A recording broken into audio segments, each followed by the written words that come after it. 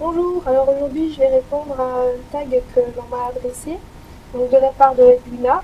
Donc en général, euh, j'aime pas montrer mon visage sur une vidéo, mais bon, je vais faire une exception pour le tag parce que c'est quand même plus marrant que de voir euh, des mains pendant toute la vidéo. Donc je vais répondre à 14 questions. Alors, quelle est pour toi la meilleure marque de vernis? Alors euh, pour moi, il y a plein de marques qui valent le coup. Je préfère personnellement la marque euh, Opi. Donc pourquoi? Parce que euh, leur pinceau est très large, je vais vous montrer. Donc comme le pinceau est très large en fait, il permet une très bonne application sur, euh, sur tout l'angle et on peut quasiment poser le vernis en un seul passage. De plus, la tenue et la, le vernis tient très bien et les couleurs sont vraiment superbes. Mais après, euh, c'est vrai qu'il existe plein de marques que j'adore aussi, comme euh, Color Club, China Glaze. Il y a plein de marques. Ensuite, quelle couleur de vernis pour toi est indispensable? Donc, ben, pour moi, c'est euh, les violets, mais plus particulièrement celui-ci. Celui-ci, c'est vraiment mon préféré. C'est un... Bon, là, avec la webcam on voit pas très bien. Donc j'ai fait avec la webcam ma vidéo parce que j'avais pas une carte mémoire assez grosse sur mon appareil photo. Donc euh, ça c'est un violet qui a des reflets roses au soleil, il est vraiment superbe. Donc c'est Opie Purple with a Purpose. désolé pour mon anglais. Hein. Vous pouvez le trouver sur mon blog. Ensuite, quel vernis peut être porté tous les jours? Ben euh, moi j'ai pas de couleur euh, en particulier. Je peux porter un rose comme un jaune, comme un bleu, un violet, un vert. Donc moi, tous les jours, ça m'est égal. Après, t'aimes plutôt les vernis pailletés ou laqués?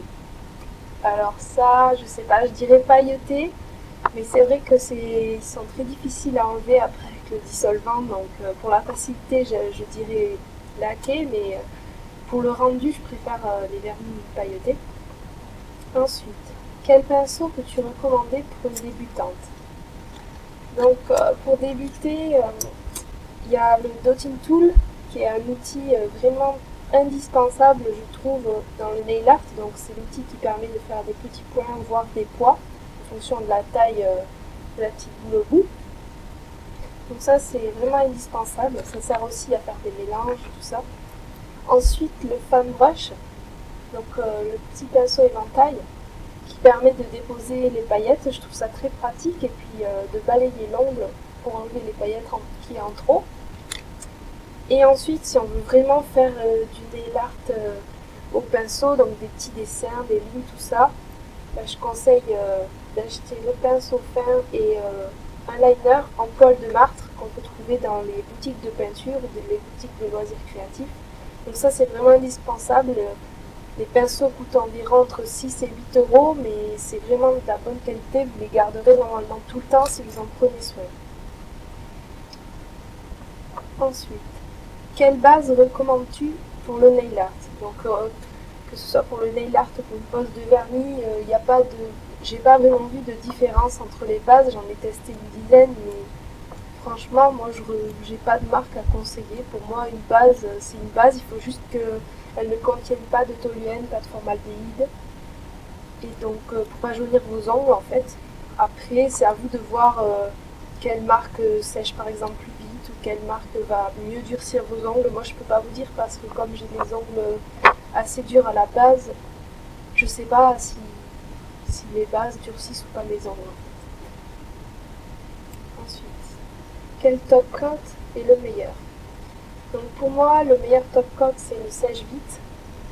Alors là, c'est vraiment sans hésiter, il faut vraiment pas hésiter à l'acheter, même s'il est un peu cher, peut-être vous allez le trouver à 10-13 euros.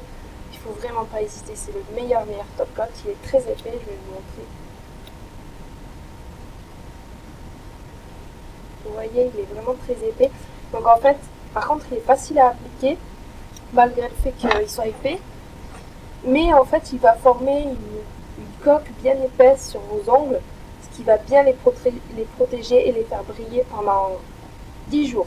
Allez, on va dire ça tient 10 jours. Et euh, Ouais, non, vraiment, il est super comme top coat, donc vous pouvez le trouver sur internet. Mais il y a des filles que je connais qui ont eu la chance de le trouver à 3 euros sur le marché, donc faut pas désespérer. Donc voilà pour ce top coat qui est super. Quelle est la couleur de vernis pour toi qui est trop osée Alors j'ai... Il n'y a pas de couleur pour moi qui est trop osée. On peut très bien porter un rose fluo, alors que certaines vont dire que ça fait pétasse. Mais moi je trouve pas. N'importe quelle couleur peut être portée. Par contre, c'est vrai que j'ai, j'aime pas beaucoup les vernis rouges. par exemple, comme celui-ci, les rouges très laqués.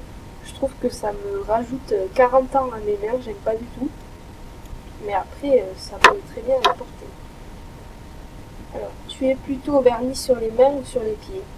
Euh, Les deux, c'est juste que les mains, je change toutes les semaines et les pieds, je change que tous les mois. Ensuite, euh, quel vernis ou accessoire te fait le plus envie que tu n'as pas? Alors ce serait le vernis Zoya Ivanka. C'est un magnifique vert duochrome que je trouve superbe. Mais euh, comme il s'achète euh, que sur internet, je ne peux pas payer des frais de port pour un seul vernis, donc j'attends qu'il y ait des commandes groupées pour que je puisse me l'acheter. Ensuite, es-tu une accro au vernis comme moi? Bah oui, je crois que ça se voit. Combien de vernis as-tu? Alors, euh, je sais pas du tout. Je crois que j'en ai plus de 200. Je vais vous montrer mes étagères.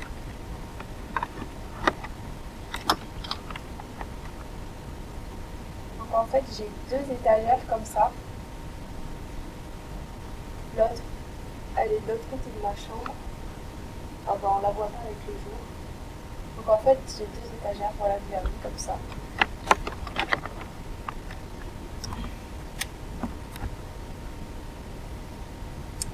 Ensuite, pourrais-tu te passer du nail art? Non, je ne pourrais pas m'en passer.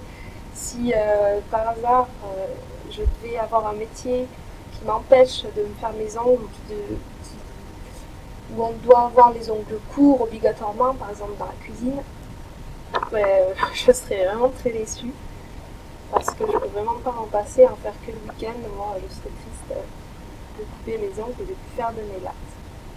Donc voilà pour euh, le tag. Et euh, donc à la fin d'un tag, euh, normalement on tag d'autres personnes, c'est comme ça qu'on fait sur YouTube, j'ai jamais fait de tag sur YouTube. Donc je sais vraiment pas qui taguer, donc si vous avez envie de répondre à cette vidéo, ben allez-y, n'hésitez pas à faire ce tag. Voilà, vous avez les questions en dessous de la vidéo. Au revoir